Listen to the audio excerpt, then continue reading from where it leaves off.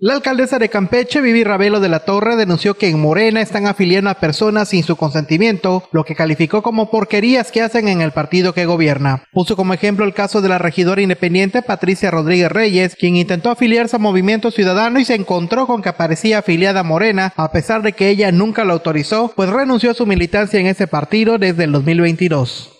Hola a todos, pues ya terminamos. Oigan, a todos este, creo que a muchos les ha pasado que de repente Morena los está afiliando sin su consentimiento. Hoy le pasó una regidora que ella pues es independiente desde hace mucho tiempo y desde que renunció a Morena pues checó en el INE y ella no estaba afiliada a ningún partido político, aunque estuviera pues en ese momento ahí. Y hoy que fue a hacer su trámite de afiliación, pues resulta y resalta que en marzo de este año, del 2023, sale que está afiliada a Morena. Así que seguramente, así como a ella, a mucha gente la afilian sin su consentimiento. Eso es un tema ilegal.